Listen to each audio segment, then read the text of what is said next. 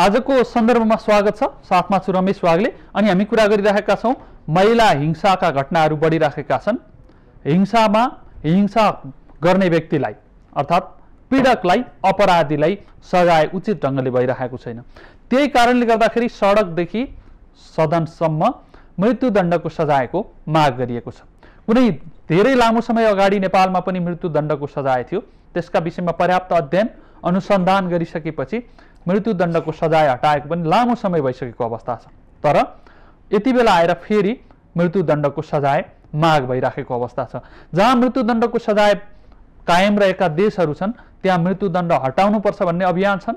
तर हाम्रोमा मृत्युदण्ड हटाएको लामो समय भएको छ तर फेरि मृत्युदण्डको कुरा उठिरहेको छ। महिला हिंसाका घटना मात्रै होइन हंस हिंसाका घटनाहरूको सङ्ख्या गनेर साध्य नलाग्ने गरी समाजमा घटिरहेको अवस्था छ र त्यसलाई अन्त्य गर्नका लागि सामाजिक अभियान पनि पर्याप्त भइरहेको छैन कानुनले गरेका व्यवस्थाको पनि प्रभावकारी कार्यान्वयन भइरहेको अवस्था छैन। यसैले गर्दा पनि यस्ता आवाज उठेका हुन् भन्ने हुन् कि भन्ने प्रश्न उठिरहेको छ। आज हामी मूलत महिला हिंसामा केन्द्रित रहनेछौँ किन घटिरहेका छन् घटनाहरू? र नियन्त्रणका प्रयासहरू किन प्रभावकारी भइरहेका छैनन्? यतातिर बहस गर्नेछौँ सँगै समाजमा हिंसा किन जीवित छ किन जीवित हुन्छ यसका विषयमा पनि कुरा गर्नेछौँ। कुराकानीका लागि स्टुडियोमा आउनुभएको छ नेपाली काङ्ग्रेसका तर्फबाट संसदमा प्रतिनिधित्व गर्ने सांसद उमा रेग्मी त्यसै गरी वरिष्ठ अधिवक्ता दिनेश त्रिपाठी। दुवैजनालाई स्वागत गरौँ। स्वागत छ दुवैजनालाई। धन्यवाद। सुरुमा चाहिँ कानुनी विषयबाटै सुरु गरौँ। महिला हिंसाका घटनाहरू यसरी बढिरहेका छन् कि त्यो बढ्दा घटनाका कारणले गर्दाखेरि पनि समाजमा अब यो भइराखेको कानुन पर्याप्त छैन त्यसैले मृत्युदण्डको सजाय दिनुपर्छ भनेर बहस उठिरहेको छ। यो बहस उठाउनुको पछाडि खालि यो मृत्युदण्डलाई नै भित्र्याउने रहस्य जोडिएको छ वा यो हिंसाका घटनाहरू र कानुन भएका कानुनको प्रभावकारिताका कारणले गर्दाखेरि आएको विषय हो जस्तो लाग्छ। मेरो विचारमा अहिले जुन एलार्मिङ रेटमा जुन महिला विरुद्धको हिंसाहरू बढ्दैछ त्यो गम्भीर राष्ट्रिय चिन्ताको विषय हो। र एउटा कुरा हामीले के ध्यान राख्नुपर्छ भने महिला विरुद्ध भएको जुन हिंसा हो या महिलाहरूमाथि गरिने जुन विभेद हो त्यो प्योरली के छ भने महिलाहरूको मात्र यो मुद्दा होइन। यो चाहिँ एउटा नेसनल इस्यु हो। र it is a matter of national shame राष्ट्रिय लज्जाको विषय हो। र यसका लागि एउटा सोसाइटल लेभलमा धेरै ठुलो एउटा एउटा चाहिँ यसलाई कसरी काउन्टर गर्ने त्यो एउटा प्रिपेयरनेस चाहिन्छ। र दुईवटा मेरो विचारमा टु प्रोङ स्टडी चाहिन्छ। दुईवटा दुई दुईवटा तहमा चाहिँ यो लडाइँ लडिनुपर्छ। एउटा त उचित कानुनी बन्दोबस्तहरू हुनु जरुरी छ। कानुनहरू छन् तर कानुनको एउटा प्रभावकारी कार्यान्वयन नभइरहेको अवस्था हो। र महिला हिंसाका विरुद्धमा एउटा जिरो टलरेन्स एउटा शून्य सहिष्णुताको नीति अगाल्नुपर्ने आवश्यकता छ। तर एउटा कुरा के ध्यानमा राख्नु जरुरी छ भने कानुनी स्तरमा मात्रै यो समस्यालाई हामी निर्मूलन गर्न सक्दैनौँ यसलाई सम्बोधन गर्न सक्दैनौँ। सोसाइटल लेभलमा किनभने हाम्रो कहीँ न कहीँ हाम्रो सामाजिकीकरणमा प्रब्लम छ।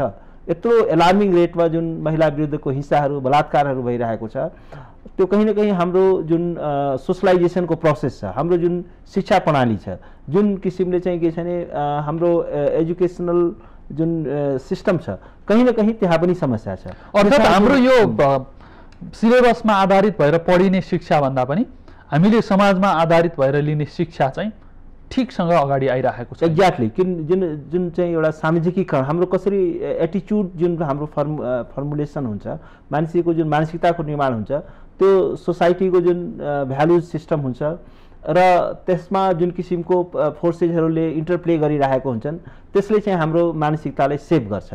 एउटा चाहिँ बालबालिकाको लागि जुन एउटा पारिवारिक वातावरण कस्तो छ स्कुलको वातावरण कस्तो छ कस्तो किसिमको कुराकानी एउटा बालबालिकाले सुन्छ र त्यस कारणले एउटा चाहिँ के छ भने महिलाहरूलाई एउटा इन्फेरियर सेक्सको रूपमा जसरी प्रोजेक्ट गरिएको छ र पुरुष भनेको सुपिरियर सेक्स हो भन्ने कुरा जसरी प्रोजेक्ट गरिएको छ त्यो नै प्रब्लमेटिक छ। त्यो पनि एउटा समस्याग्रस्त छ। र त्यस कारण के छ भने यो हाम्रो कहीँ न कहीँ हाम्रो भ्यालु सिस्टममा हाम्रो सामाजिकीकरणको प्रक्रियामा पनि समस्या छ।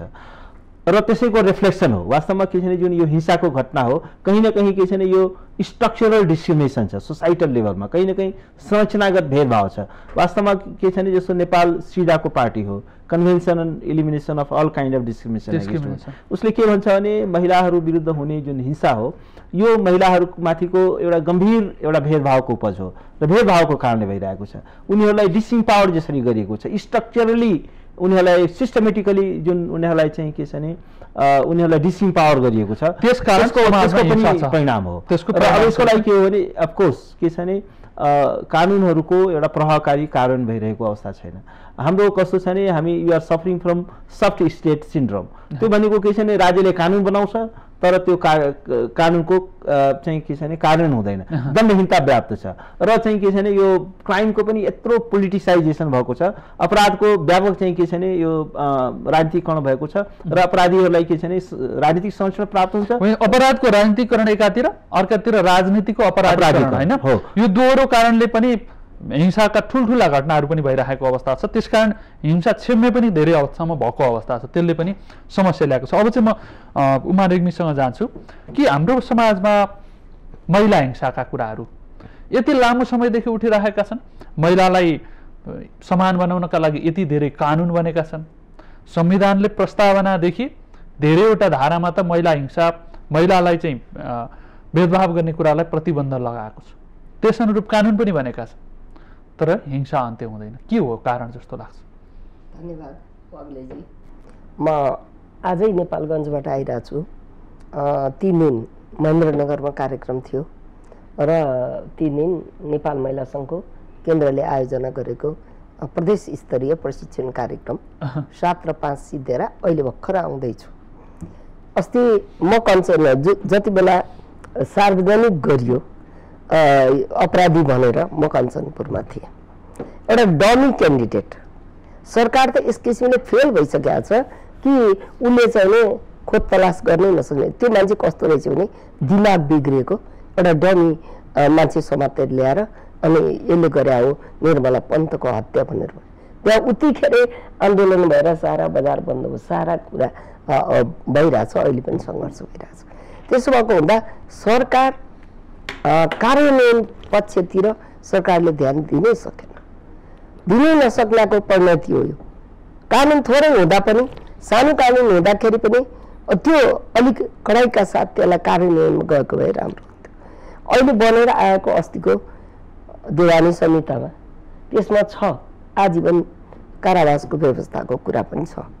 तर कुरा के छ भने कार्यान्वयन नै एकदमै शून्य छ। दण्डहीनताको अवस्थै शून्य छ अब नेपालमा कसैले न्याय नपाउने अवस्था छ। जीव धनको कसैले सुरक्षा पाउने अवस्था नेपालमा छैन। नेपाली नागरिकले एउटा घटनामा सरकारले गम्भीर कमजोरी गर्यो। या यो चाहिँ सिरियल वाइज घटनामा। एउटा यो त भर्खरै आँखाले हिजो देखेर आएको उदाहरणको कुरा गरे मैले। सिरियल वाइज घटनामा यो कहाँनिर कमजोरी भएको छ। पुलिस प्रशासनमा कमजोरी भएको हो कि जनप्रतिनिधिहरूको बिचमा कमजोरी भयो कि कहाँनिर चाहिँ यो अपराधीलाई लुकाउने र अर्को डमिन क्यान्डिडेट ल्याउने कुरा यो कसरी भयो? यो कुराको चाहिँ गम्भीर कुरा हो। भोलि जो मरे पनि जसको ध जीव धनको सुरक्षा कसले दिने? कसले दिने? कि जहिले पनि एउटा मान्छे खोजेर लिएर आएर सडकका म गन्थे कोही मान्छे कोही दिमाग बिग्रेकै मान्छे त्यो त। त्यस्तो खोजेर लिएर आएर अनि उसलाई दुई पैसा दिएर मैले गरे हो भनेर वास्तविक अपराधी लुकाउने षड्यन्त्र भएको छ। यो यसको वास्तविक छानबिन भएन भने यो मुलुकमा निराजुको मुलुक हुनेछ र कसैले पनि के अरे चाहिँ नि न्याय पाउने चाहिँ किन भयो होला? किन यो अपराधीलाई लुकाउने काम चाहिँ किन भयो होला? अब देख्नु भएको छ वाग्लेजी क्विन्टल क्विन्टल सुनका कुरा पनि आए।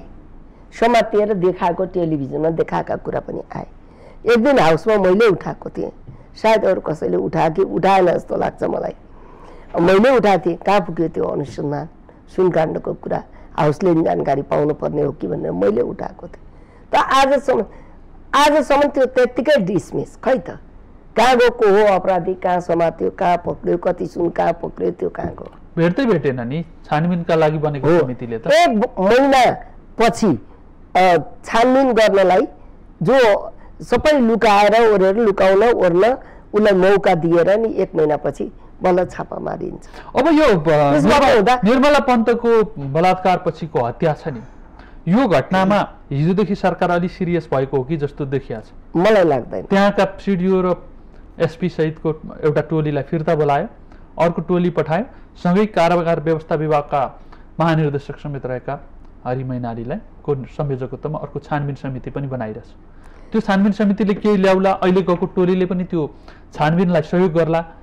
त्यस्तो सकारात्मक अपेक्षा गर्ने ठाउँ त खै। मैले त प्रवृत्ति एउटै रहँदासम्म एकछिन त्यो सरुवा गरिदिएपछि एकछिनको मोहरी चाहिँ नि टर्यो। त्यहाँ आन्दोलन भएको थियो ल के कारण हुन्छ एउटा कमिटी बनाइदियो के अरे चाहिँ नि छानबिन कमिटी बनाइदियो। गरेको जस्तो देखाउने। सरकार त अभिभावक हो नि त यो मुलुकका जनताको। साँच्चीकै सुरक्षा दिनु परेको परेन सरकारले। गरेको दे जस्तो देखाउने होइन। गर्नै पर्ने। सरकारले अभिभावक भावकत्व दिनै पर्ने। जनताको जीवधनको सुरक्षा गर्नै पर्ने। तर त्यो त कोही कुनै पाटोमा पनि देखिएन। हिजोको सरकार र आजको सरकारमा फरक छ। हिजोको सरकारको चाहिँ नि पहिलो काम चाहिँ नि उसको के थियो भने लोकतन्त्रै बचाउने थियो। संविधानै ल्याउने थियो। त्यो संविधानलाई कार्यान्वयनै गर्ने थियो। आजको सरकारको पहिला नारा के छ? सुखी नेपाली समृद्ध नेपाल। आजको सरकारको। कसरी दिनदिनै महिलाहरू बलात्कृत भइरहेछन्? कसैले न्याय पाउन सकेको छैन। कसरी नेपाली सुखी हुन्छन्? टाउका ठुलो करको भार थोपरिएको छ। आम्दानी केही छैन सामाजिक सुरक्षाको व्यवस्था केही छैन। कसरी नेपाली सुखी हुन सक्छ? अब यो हिंसाकै तर्फ जाँदाखेरि चाहिँ हिंसा समाजमा किन रहन्छ? त्यस विषयमा हामीले बहस गर्नुपर्ने समय आएको हो। हाम्रो समाजमा हिंसा किन छ?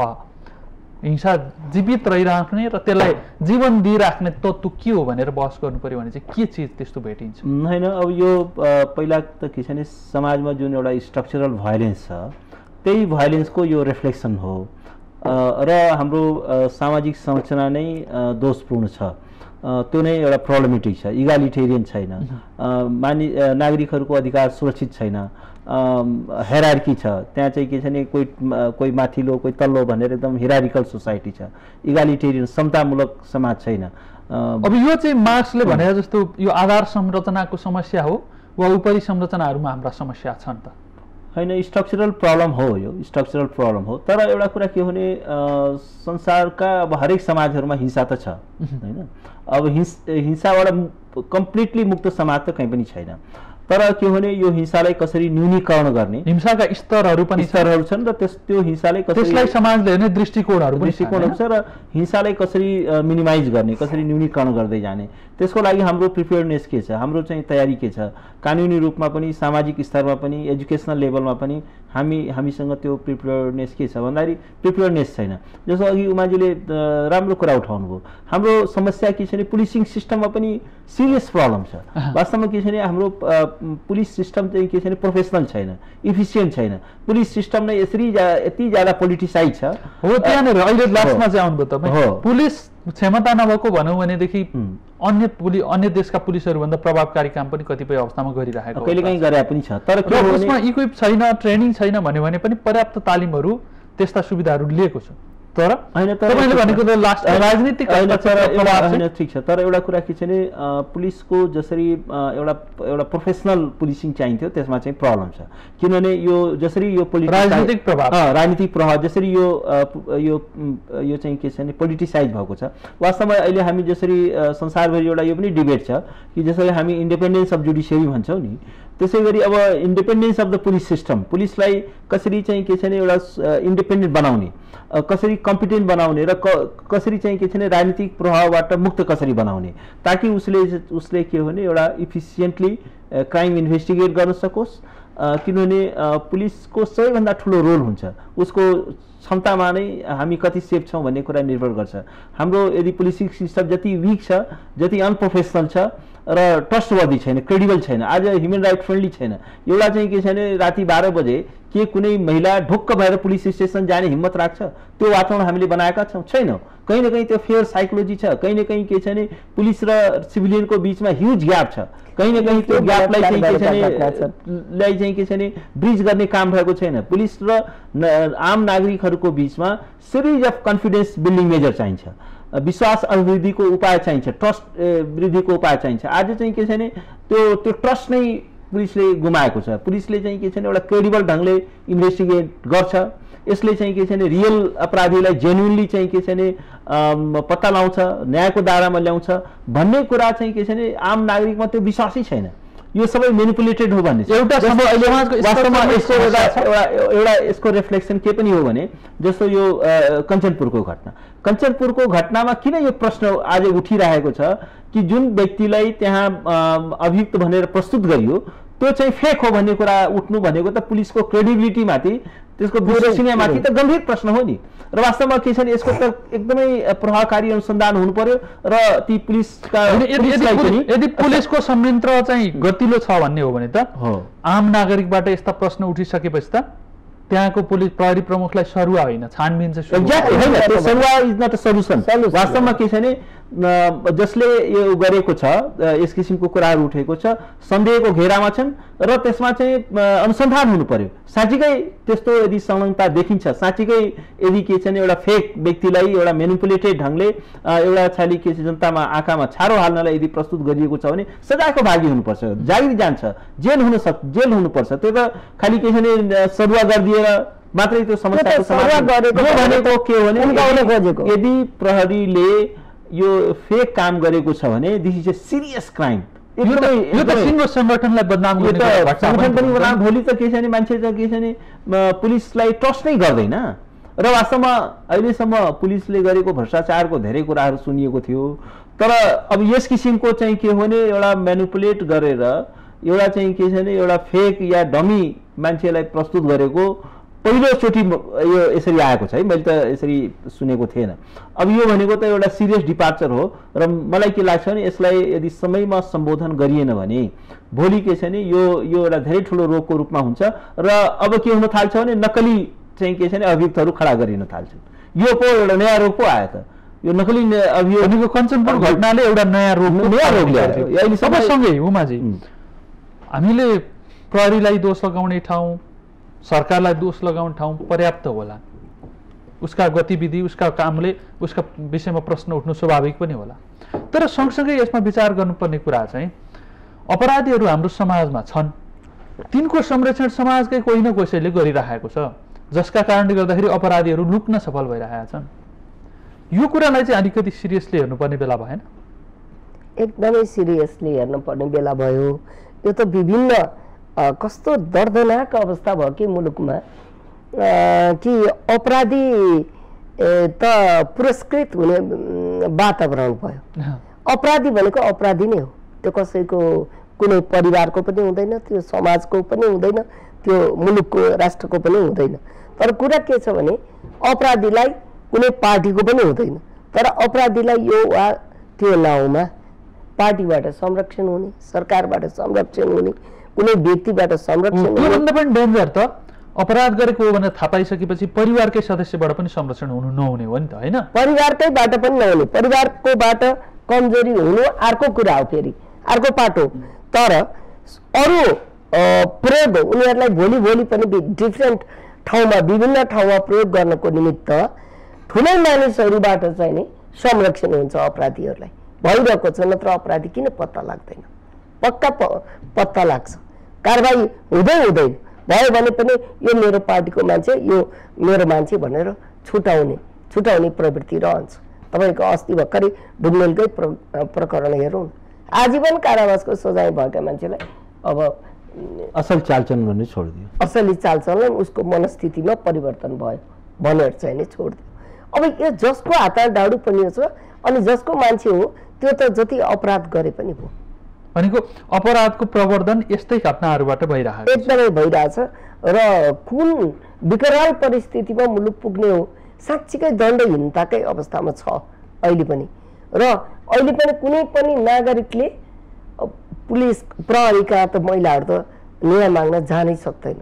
उल्टो प्रहरीबाट बलात्कार भएका प्रशस्त घटनाहरू छ प्रहरीबाट पनि बलात्कार भएका घटनाहरू छन् नि त महिलाहरूका लागि। र न्याय माग्न जाँदाखेरि उल्टो गाली गरेर उल्टो लट्ठी लाएर पठाइदिने प्रवृत्ति पनि छ। प्रहरीमाथिको विश्वसनीयता एकदमै घटेको छ।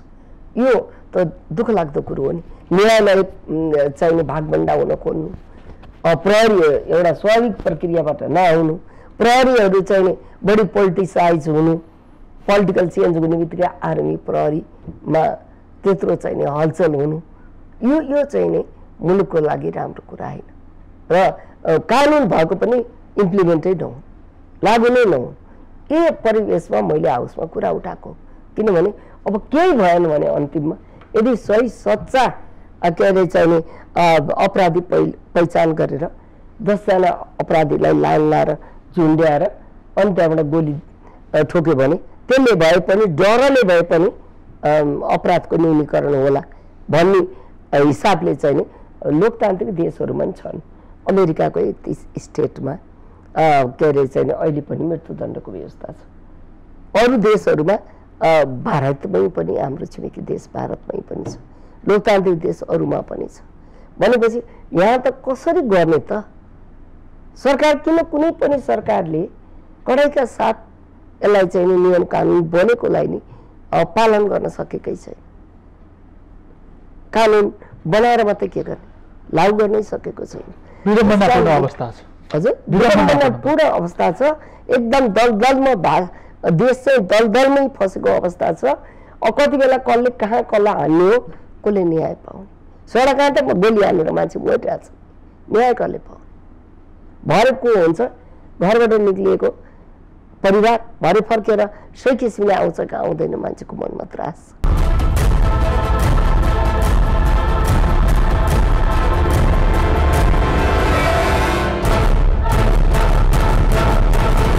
मान्छेको मानसिक अवस्थामा मन मनमा चाहिँ म सुरक्षित छु भन्ने महसुस हुने कुरा महसुस हुने कुरा हो। तर यहाँ त न्याय लिनका लागि म अन्याय भइसकेपछि न्याय लिन पनि सक्छु कि सक्दिनँ भन्ने चिन्ताबाट। न्याय लिन नसकेकै अवस्था छ। सक्छु कि सक्दिनँ होइन? नसकेकै सिरिज अफ केस छन् त्यस्तो। न्याय पाउन नसकेका केसहरू छ। परिस्थिति डरलाग्दो छ। डरलाग्दो परिस्थिति छ। अब यसलाई चाहिँ नि यसमा होला। समाज पनि दोषी छ। केही हदमा तर समाजलाई पनि सही बाटोमा डोर्याउने जुन कुनै उपायबाट पनि सही बाटोमा डोर्याउने कर्तव्य राज्यको पोजिटिभली मोटिभेट गरेर होस् चाहे नेगेटिभली मोटिभेट गरेर अब सकेसम्म पोजिटिभ मोटिभेट गर्ने। लागेन भने डर त्रास देखाएर भने कि रिवार्ड हो कि पनिसमेन्ट रिवार्ड गरेर हुन्छ भने रिवार्ड गर्ने। रिवार्ड गरेर हुँदैन भने कडा पनिसमेन्ट गरेर पनि कुप्रवृत्तिको त समाप्ति गर्नु पर्यो। यो त राक्षसी। हामी त अहिले राक्षसी युगमा बाजिरहेको प्रतीत हुन्छ मलाई त। दिनेशजी उहाँले पनि भनिहाल्नुभयो कि सडकमा सदनमा दुवै ठाउँमा एउटै कुरा उठिरहेको छ कि अब अपराधीलाई मृत्युदण्डको सजाय दिनुपर्छ।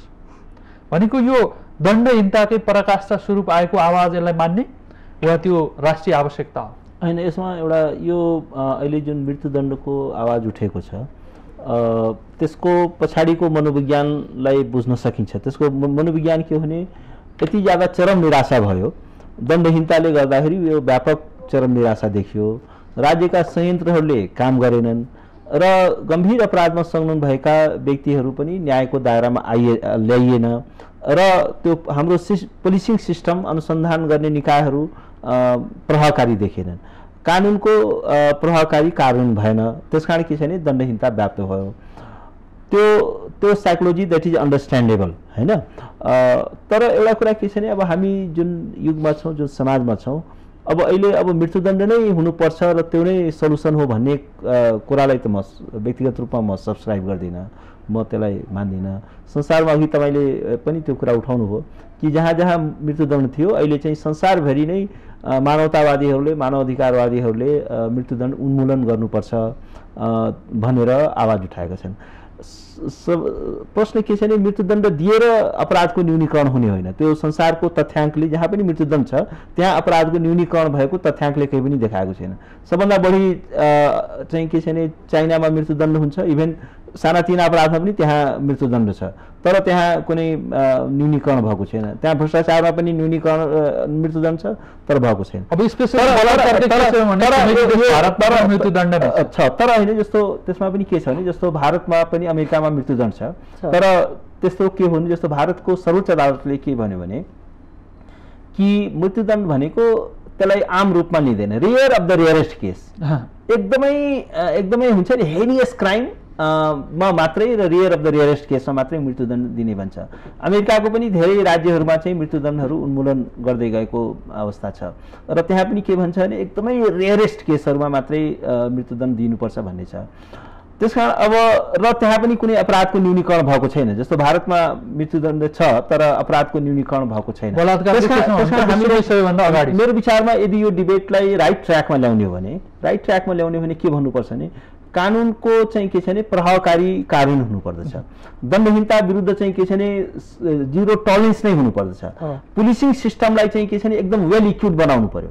र अर्को कुरा के छ भने हामी दण्डको मात्रै कुरा गर्छौँ। तर के छ भने जस्तो रेप भिक्टिम्सहरू छन् ती महिलाहरू छन् तिनीहरूको पुनर्स्थापनाको बारेमा पनि कुरा हुनु पर्यो नि। उनीहरूलाई चाहिँ के छ भने सोसल साइकोलोजिकल काउन्सिलिङको आवश्यकता छ। उनीहरूलाई समाजमा कसरी के के छन् रेस्टोर गर्ने कुराहरू पनि छन्। उनीहरूले चाहिँ के छ भने उनीहरूको डिग्निटी किनभने रेप भनेको त्यो शरीर विरुद्धको मात्रै अपराध होइन त्यो महिलाको आत्मा विरुद्धको पनि अपराध हो। त्यस कारण के छ भने उनलाई एउटा फेरि डिग्निफाइड लाइफ चाहिँ कसरी लिड गर्न सक्छन् त्यसको पनि भएर आएको एउटा महिला। र अर्को कुरा म के भन्छु भने जस्तो हाम्रो हामी भनाइ के छ भने ल महिलाको इज्जत लुट्यो। त्यो रेप भएर महिलाको इज्जत लुटिएको होइन। जुन पुरुषले त्यस्तो कर्ममा कुकर्ममा चाहिँ संलग्न भयो त्यसको इज्जत समाप्त भएको हो। महिला त के छ भने she's a victim innocent victim उसको त के छ भने कुनै उनको कुनै गल्ती छैन। गल्ती त पुरुषको छ अपराधीको छ। र त्यसलाई चाहिँ के छ भने इज्जत महिलाको लुटिएको होइन। त्यो इज्जत चाहिँ के छ भने त्यो कुकरमा संलग्न भएको व्यक्तिको इज्जत नभएको कारणले भएको हो। त्यस कारण के छ भने महिलाहरूलाई एउटा चाहिँ के छ भने सोसाइटीमा कसरी रेस्टोर गर्ने डिग्निफाइड लाइफ कसरी उ गर्ने र महिलाका त्यसको बारेमा सोसल सपोर्टहरू कसरी जेनेरेट गर्ने। आज चाहिँ के छ भने हाम्रो सोसाइटल हाम्रो माइन्डसेट के छ भने जो क्राइम भिक्टिमहरू छन् अपराधबाट पीडित भएका व्यक्तिहरू छन् उनीहरूका प्रति हामी धेरै एकदमै सहानुभूति राख्ने भन्दा पनि उनीहरूलाई एउटा सपोर्ट दिने उनीहरूलाई न्यायको लडाइँमा साथ दिने भन्दा पनि जस्तो अब साक्षी बस्ने मान्छे पाइँदैन। हेर्नुहोस् न मतलब एउटा पीडित महिला। न्याय पाउनलाई धेरै गाह्रो छ। र महिला चाहिँ के छ भने हाम्रो होल जस्टिस सिस्टमलाई म के भन्छु भने रिस्ट्रक्चर गर्नुपर्ने आवश्यकता छ। कतिजना महिला जजेसहरू छन्। महिला जजेसहरू एकदमै न्यून मात्रामा त्यस्तोमा उसले रेपको ट्रायल कसरी हुन्छ भन्नुहोस् त? र कतिजना महिला प्रोसिक्युटरहरू छन्। सरकारी वकिल कतिजना महिलाहरू छन्। त्यस्तो प्रश्नहरू पनि उठ्नु पर्यो नि। कि बढीभन्दा बढी चाहिँ के छ भने महिला प्रोसिक्युटर महिला पुरुषले बयान लिन दिन्छ, विषयमा बहस? चल्ने भनेको कुनै बेला प्रश्नहरू पनि राष्ट्रपति, महिला महिला हुनु पर्यो महिला जजेसहरू हुनु पर्यो होल सिस्टमलाई चाहिँ के छ भने महिला मैत्री बनाउनु पर्यो न्यायिक प्रक्रियालाई महिला मैत्री बनाउनु पर्यो र के छ भने जस्तो धेरै देशहरूमा के छ भने महिलाहरू मात्रै भएको पुलिस स्टेसनहरू छन् जहाँ चाहिँ के छ भने महिलाले गएर ढुक्क भएर रिपोर्ट गर्न सकोस् यहाँ त्यो छ। भन्नुहोस् न। महिलाले चाहिँ के छ व्यवस्था छ यहाँ। सेलको होला तर के छ भने त्यो काठमाडौँमा होला। मलाई लाग्दैन कि त्यो देशैभरि देशैभरि हुनु। पर्यो। देशैभरि हुनु पर्यो। महिला मात्रै भएको पुलिस स्टेसन्सहरू पनि हुनु अलिक दूर दराज ठाउँहरूमा पनि त्यो हुनु पर्यो। त्यस कारण के छ भने यो यसलाई के छ भने हामीले एउटा-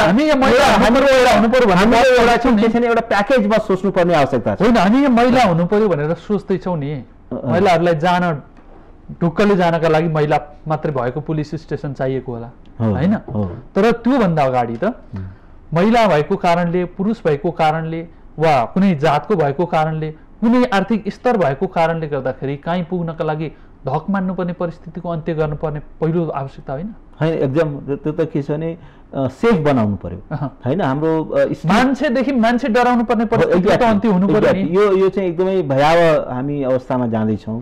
आज चाहिँ के छ भने हाम्रो समाज हाम्रा स्ट्रिटहरू हाम्रा सडकहरू चाहिँ के छ भने महिलाहरूको लागि सेफ छैन सुरक्षित छैन। र वास्तवमा राज्यको फर्स्ट एन्ड फरमोस्ट ड्युटी नै के हो भने नागरिकहरूको सुरक्षालाई प्रत्याभूत गर्नु हो। नागरिकहरूलाई एउटा डिग्निफाइड लाइफ नागरिकले लिड गर्न सकोस्। राज्यको पहिलो कर्तव्य नै त्यही हो। हामीले किन ट्याक्स तिर्छौँ? राज्य भन्ने इन्स्टिट्युसन किन चाहियो? किनभने यसले नागरिकलाई सेफ्टी र सेक्युरिटी प्रदान गर्छ। रुल अफ ल इन्स्योर गर्छ। अपराधीलाई दण्डित गर्दछ। त्यसैको लागि राज्य चाहिएको हो नि। डेभलपमेन्ट भनेको सेकेन्ड्री कुरा हो। प्राइमेरी अब्जेक्टिभ त त्यही हो नि। त्यस कारण के हो भने स्टेटका मा बसेका व्यक्तिहरूको सबभन्दा हामी स्टेट रिस्ट्रक्चरिङको कुरा गर्छौँ। पहिलो स्ट्रक्चरिङ द स्टेटमा बसेका मानिसहरूको माइन्डको रिस्ट्रक्चरिङ गर्नु। आवश्यक छ। उनीहरूको एटिच्युडनल रिस्ट्रक्चरिङको आवश्यकता छ। अनि बल्ल स्टेटको रिस्ट्रक्चरिङको कुरा गरौँ। किनभने जब हाम्रो माइन्ड नै करप्ट छ हाम्रो मानसिकता नै चाहिँ के छ भने दोषी छ। र अप- आपराधिक मानसिकता लिएर बसेका छौँ। आज ल इन्फोर्स गर्ने एजेन्सिजहरू मानसिक अपराधी मानसिकता लिएर बसेका छन्। हाम्रा पोलिटिसियन्सहरू जसले चाहिँ के छ भने नेसनलाई एउटा अगाडि लैजानु पर्ने उनीहरूमा क्रिमिनल मेन्टालिटी छ। हरेक कुरालाई चाहिँ के छ भने राजनीतिक फाइदाको रूपमा मात्रै हेर्नु भनेको क्रिमिनल मेन्टालिटी हो। आज चाहिँ के छ भने तपाईँ वन्स युआर इलेक्टेड तपाईँ मन्त्री हुनुभयो प्रधानमन्त्री हुनुभयो तपाईँले इन्टायर नेसनलाई रिप्रेजेन्ट गर्नुपर्छ। त्यहाँ तपाईँले खालि पार्टी भनेर हेर्ने मिल्छ। पार्टिजन इन्ट्रेस्टमा काम गर्न मिल्दैन त्यहाँ। तपाईँ इन्टायर नेसनको इन्ट्रेस्टमा काम गर्नुपर्ने। त्यो नै एउटा क्रिमिनल माइन्ड सेट हो। त्यस कारण यो त्यसका कारणले गर्दा सबैतिर प्रभाव त्यसको प्रभाव।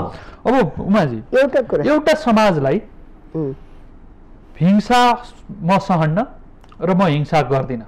भनेर प्रतिबद्धता समाजका हरेक सदस्यले जाहेर गर्ने हो भनेदेखि एक प्रकारले नागरिक शपथका रूपमा म कुनै पनि प्रकारको हिंसा स्वीकार गर्दिनँ भनेर हरेक नागरिकले प्रतिबद्धता जनाउने हो भने त त्यहाँ त अपराधको स्थान त रहँदैन।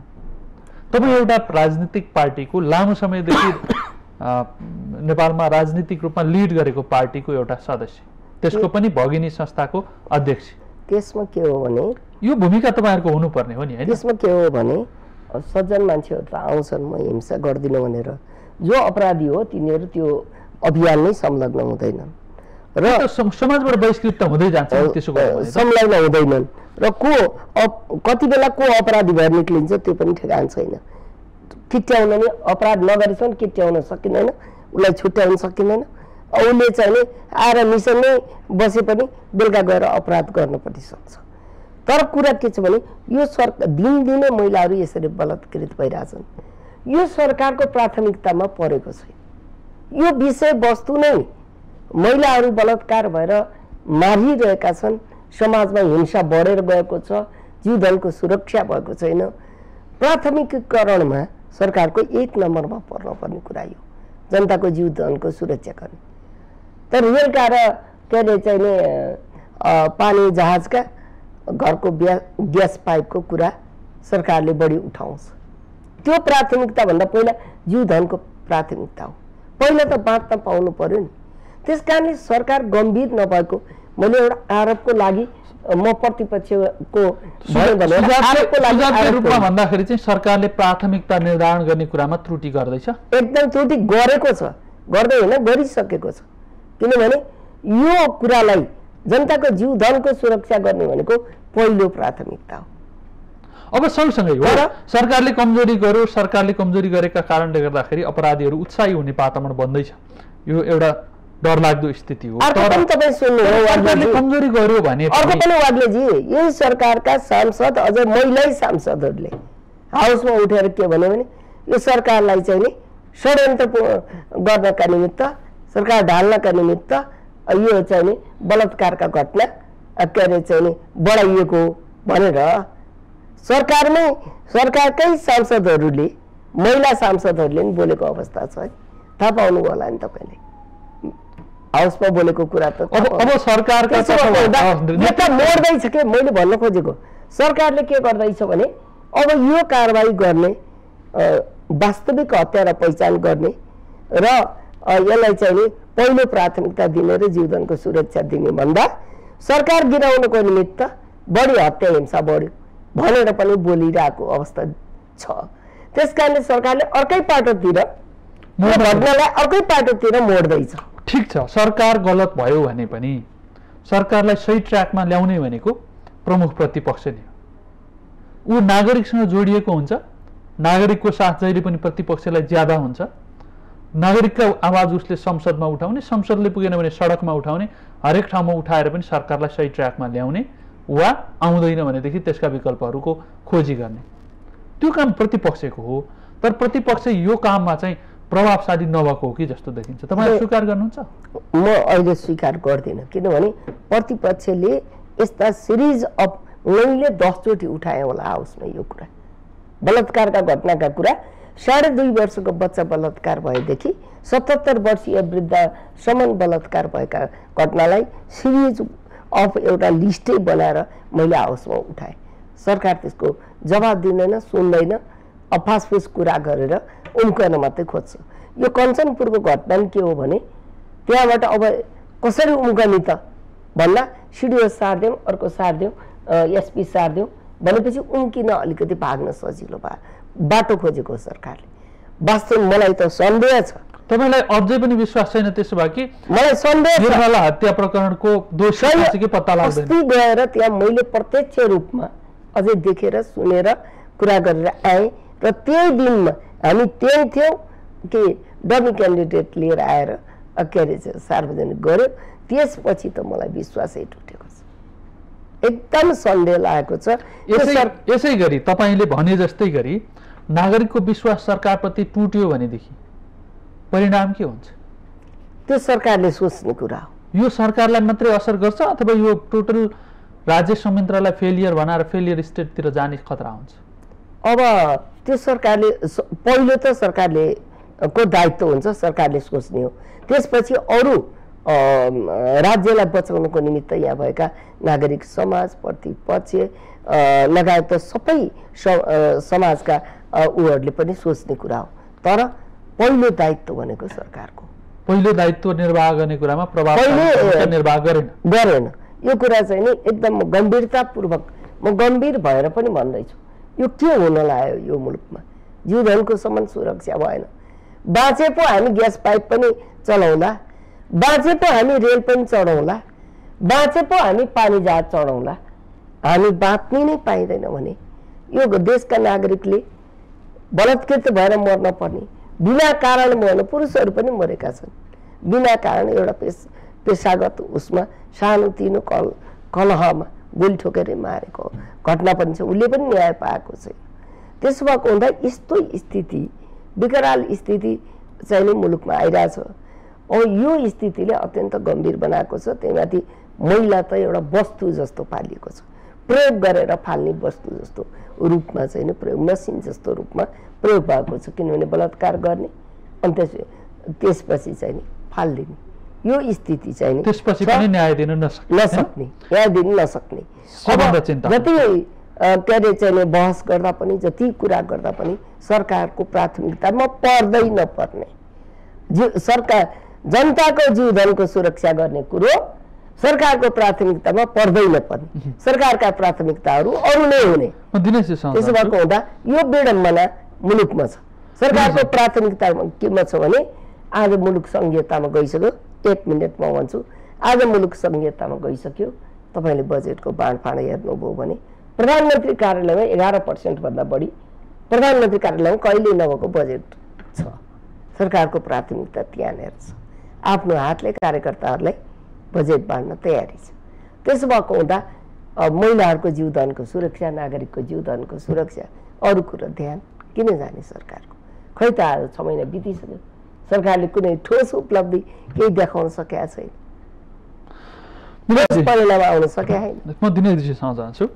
दिनेशजी उहाँले भनिराख्नु भएको छ कि चिन्ताका विषयहरू धेरै जाहेर गरिराख्नु भएको छ। कि सरकार फेलियर भन्दा भन्दै टोटल्ली स्टेट फेलियरमा जाने हो कि भन्ने खालका चिन्ताहरू आइरहेका छन्। भलै त्यो ठ्याक्कै त्यो स्थितिमा पुगिसकेको अवस्था छैन। तर पुग्ने खतराहरू यस्ता घटनाहरूले जुराउँछ निम्त्याउँछ होइन? त्यसो गर्दै गर्दाखेरि पनि हाम्रो संविधान र कानुन हेरियो भनेदेखि संविधानले त प्रस्तावनामा नै हिंसालाई चाहिँ निषेध गर्ने गरी अस्वीकार गर्ने प्रतिबद्धता जाहेर गरेको छ। नागरिकताका हकका कुरा हुन् वा मौलिक हकका कुरा हुन्। मौलिक हकमा त धारा सोह्रदेखि सत्तालिससम्मका धेरै भागहरू हिंसालाई निषेधित गर्ने प्रकृतिका छन्। अझ अठारले त महिला र पुरुष भनेर विभेद गर्न नपाउने व्यवस्था गरिरहेछ। अडतिसले महिलाको हक चाहिँ हिंसाबाट उन्मुक्ति दिने मात्रै होइन कि वंशजको अधिकार सम्बन्धको हक छ। उन्चालिसले बालबालिकाको छ बयालिसले सामाजिक न्यायको हकको व्यवस्था गरेको छ त्यो पनि नागरिकहरूलाई समान बनाउनेसँगै सम्बन्धित छ। त्रिचालिसले सामाजिक सुरक्षाको अवस्था हक पनि व्यवस्था गरेको छ यत्रो हेऱ्यो संविधान भनेदेखि उत्कृष्ट जस्तो लाग्छ। अनि त्यही समाज त्यही संविधानले गभर्न गरेको समाज हेऱ्यो भनेदेखि चाहिँ डर लाग्दो तस्बिर आउँछ। के भएको यो होइन, समन्वय अब- कहाँ अब संविधान त संविधानका जुन अक्षरहरू छन् त्यो आफै आफै कार्यान्वयन हुने होइन। संविधान चाहिँ के छ भने एउटा सेल्फ इजुकेटिङ डकुमेन्ट होइन कि आफै कार्यान्वित हुने डकुमेन्ट होइन। संविधानलाई कानुनलाई इजिक्युट गर्ने भनेको स्टेटका इन्स्टिट्युसनहरूले हुन्। र त्यो इन्स्टिट्युसन्सहरू यदि फेल भयो भने त्यो इन्स्टिट्युसन्सहरूले पर्फर्म गरेनन् ती इन्स्टिट्युसनहरू यदि प्रोफेसनल छैनन् भने वास्तवमा के हो भने जुन हामी स्टेट फेलरको कुरा गर्छौँ नि स्टेट फेलर पनि कसो भने त्यो एउटा एक्सट्रिम एउटा फेलर हुन्छ। तर हामी कता कता एउटा पार्सियल एउटा फेल एउटा पार्सियली फेल स्टेटको अवस्थामा छौँ जस्तो मलाई लाग्छ। किनभने एउटा स्टेट फेलरको एउटा फर्स्ट ऊ चाहिँ के हो भने जुन स्टेटले आफ्ना लजहरू इम्प्लिमेन्ट गर्न सक्दैन। करप्सनहरू इन्स्टिट्युसनलाइज हुन्छ। जहाँ चाहिँ के छ भने डिफिसिट अफ ट्रस्ट हुन्छ नागरिक र राज्यको बिचमा। राज्यले राम्रो काम गर्छ भन्ने आम नागरिकलाई विश्वासै छैन। त्यो पनि एउटा स्टेट फेलरको एउटा सिम्टम हो यो। ल चाहिँ इम्प्लिमेन्ट हुन्छ भन्ने नागरिकलाई विश्वासै छैन। ल इन्फोर्स गर्ने एजेन्सिजहरू एउटा गुड फेथमा काम गर्छन् भन्ने नागरिकलाई विश्वासै छैन। त्यो जुन डिफिसिट अफ ट्रस्ट हो र जहाँ चाहिँ के छ भने कानुन र संविधानहरू सिर्फ एउटा कस्मेटिक पर्पजको लागि सजावटको लागि संविधान र कानुन जस्तो हाम्रो संविधान छ। अब फन्डामेन्टल राइट्सको हिसाबले ह्युमन राइटको हिसाबले one of the best constitution नै हो किनभने यति धेरै राइट्सहरू इन्स्योर गर्ने संविधानहरू कमै छन्। तर के भने त्यसको पुवर इम्प्लिमेन्टेसन छ। संविधानको जुन प्रमिसेसहरू छन् जुन प्रतिज्ञाहरू छन् त्यो त नागरिकले डेली लाइफमा अनुभूत गर्न पाउनु पर्यो त्यसलाई एक्सपिरियन्स गर्न पाउनु पर्यो। र किनभने संविधान भनेको कानुन भनेको एउटा संविधान त एउटा जीवन्त दस्तावेज हो एउटा भाइब्रेन्ट दस्तावेज हो लिभिङ डकुमेन्ट हो। त्यो चाहिँ के छ भने डे टु डे पिपुलको लाइफमा ट्रान्सलेट हुनुपर्छ अन अनुवाद हुनुपर्दछ। अनि बल्ल त्यसको सिग्निफिकेन्ट हुन्छ। यो सँगसँगै जोडिने कुरा चाहिँ हजुर। यो राज्यको फेलियरनेससम्म पुग्ने कुरा अनि त्यसपछि सरकारको अब तर यही यही अवस्था रह्यो भने जोडियो भने हामी बिस्तारै you're heading toward the fail state किनभने अहिले जसरी चाहिँ के हो भने यो संविधान नै लावारिस भइरहेको अवस्था छ। कसैले यसलाई ओन गरिरहेको छैन। यसलाई इम्प्लिमेन्ट गर्ने एउटा सिरियस पोलिटिकल विलको अभाव छ। नागरिकहरूमा चाहिँ चरम निराशा छ। लले फङ्सन गरेको छैन सेक्युरिटी छैन। अब यी सारा समस्या त छँदैछन्। हजुर। तपाईँ एकाउन्ट तपाईँ एउटा स्टेट स्टेट चाहिँ स्टेट स्टेट एकाउन्टेबल छैन। हेर्नुहोस् एउटा चाहिँ के छ भने यदि स्टेट स्टेट चाहिँ नागरिकप्रति एकाउन्टेबल छैन। होइन हामीले यी यी सबै कुरा गर्दै गर्दाखेरि पनि यथार्थ चाहिँ हुँदै गर्दाखेरि पनि नागरिकमा थप निराशा ल्याउनु त पक्कै हुँदैन। हाम्रो नागरिकको दायित्वको हिसाबले पनि। सँगै। जोडिएर आउने कुरा चाहिँ पीडित भए बला बलात्कारमा परे। ती बलात्कारमा परेका व्यक्तिहरूलाई समाजमै पुनस्थापित गर्ने सम्मानित जीवन बिताउने अहिले परेको त्यो विक्षिप्तिको अवस्थाबाट बाहिर निकाल्ने र आर्थिक रूपमा पनि भोलिका दिनमा समाजमा कसैसँग निगाहमा बाँच्नु नपर्ने परिस्थिति निर्माण गर्नका लागि खै त हाम्रो अब वास्तवमा। जस्तो अब रेपको जुन कुरा छ हेर्नुहोस् अहिले पनि हाम्रो कानुनमा प्रब्लम छ जस्तो रेपलाई one of the heinous crime मानिन्छ सिरियस क्राइम मानिन्छ एकदम जघन्यतम अपराध हो। र अन्तर्राष्ट्रिय कानुनले के भन्छ भने यस्ता सिरियस क्राइमहरूमा हदम्याद हुनु हदम्यादै हुनु हुँदैन अब हामी कहाँ पहिला पैँतिस दिनको हदम्याद थियो? अदालतले भन्यो यो हदम्यादको कुरा सच्याउ भन्यो छ महिना गराइयो। अहिले पनि नयाँ कोडमा जम्मा एक वर्षको म्याद राखिएको छ। वास्तवमा के छ भने यस्तो अपराधमा त हदम्यादै राख्नु हुँदैन। जस्तो हत्याभन्दा सिरियस अपराध हो नि यो। हत्यामा अपराध ऊ छैन हदम्याद छैन भने रेपमा पनि हदम्यादै हुनु हुँदैन तर यसमा अहिले पनि सिरियस क्राइमलाई त्यसलाई त्यसलाई चाहिँ के छ भने भन्ने चिज हुनु हुँदैन अब अर्को अर्को एउटा के भन्छु भने। जस्तो एउटा एउटा कुरा यो रेपलाई कति सिरियस क्राइम मानिन्छ भने जस्तो रवान्डाको जुन ट्राइब्युनल थियो इन्टरनेसनल ट्राइब्युनल त्यसले के भन्यो भने रेप इज अ टर्चर भन्यो। टर्चर किन भन्यो भने किनभने टर्चरमा युनिभर्सल जुरिडिक्सन छ। त्यो भनेको के छ भने यदि नेपाल सरहदभित्र रेपमा संलग्न भएको व्यक्ति कारवाही हुँदैन। उसलाई दण्डित गरिँदैन। या अपर्याप्त रूपमा दण्डित अपर्याप्त रूपमा मात्रै दण्डित गरिन्छ। भने त्यसमा चाहिँ के छ भने विश्वव्यापी क्षेत्राधिकार आकर्षित हुन्छ। अर्थात् नेपालमा सजाय भागेर पनि बाँच्न अर्थात् के छ भने नेपालमा सजाय भएन भने भोलि बेल्जियममा समातिन सक्छ। भोलि चाहिँ थाइले थाइल्यान्डमा त होइन बेलायतमा समातिन सक्छ। क्यानाडामा स्विडनमा समातिन सक्छ। जुन जुन देशहरूले अन्तर्राष्ट्रिय क्षेत्राधिकारलाई स्वीकार गरेका यति सिरियस क्राइमलाई अहिले पनि हामीले यसलाई हल्का रूपमा लिइरहेको छौँ। र वास्तवमा के छ भने यो त मानवतामाथिको गम्भीर कलङ्क हो। अब हामीसँग नै गरेमा साँच्चीकै महिला हिंसा गर्ने हो भनेदेखि सरकार सरकारका बाहेक नागरिकका दायित्व चाहिँ के हुन्छ? सरकार नागरिकको पनि दायित्व हुन्छ। किनभने समाजमा पहिलो कुरा त अत्यन्त चेतना ल्याउनु पर्यो। अर्को कुरा समाजले अपराधीहरूलाई बहिष्कृत गर्नु पर्यो। बहिष्कृत दण्डको रूपमा चेतना ल्याउने हुन नदिनको अगाडि हुन नदिनको अपराध छ भने त्यस्तो अपराधलाई चाहिँ निषेध चाहिँ गर्नु पर्यो। घटना नघटोस् भन्नका निमित्त चेतना जगाउने र घटिसकेपछि अपराधीलाई चाहिँ। निषेधिँदै गर्नु। बहिष्कृत गर्ने। सामाजिक हरेक इभेन्टमा बहिष्कृत। समाजका हरेक नागरिकमा त्यो प्रेरणा प्राप्त होस् र राज्यका संयन्त्रहरूमा पनि एक आफ्नो प्रभावकारिता माथि प्रश्न उठ्ने काम नगर्नका लागि चाहिँ एउटा विल पावर यही शुभकामना गर्छु धन्यवाद। समय र विचारका लागि दुवैजनालाई धन्यवाद। हस् तपाईँलाई पनि धन्यवाद। यतिन्जेल हेरेर साथ दिनुभयो। कार्यक्रमको समय सकिएको छ। म सहित सम्पूर्ण युनिटलाई बिदा दिनुहोस्। माउन्टेन टेलिभिजन हेर्दै गर्नुहोला। नमस्कार।